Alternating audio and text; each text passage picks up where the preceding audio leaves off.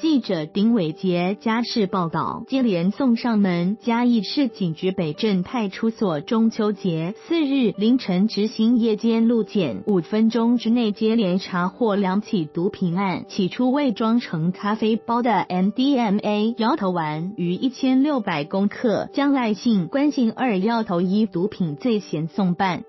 北镇派出所长林维廷四日凌晨零时代班在辖区高铁大道执行夜间专案勤务，一名赖姓男子驾驶自小客行经路检点时神色慌张，警方立刻将其拦查停下，果然在自小客驾驶座下方查获 MDMA 毒品共五十包，重达五百七十二公克。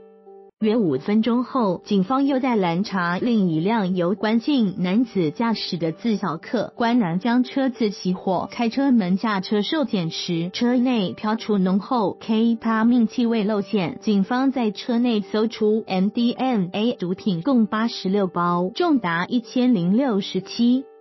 五公克，所长林维廷立即通报现场支援警力，查扣赖男、关南车上毒品，并将两人带回派出所调查讯问。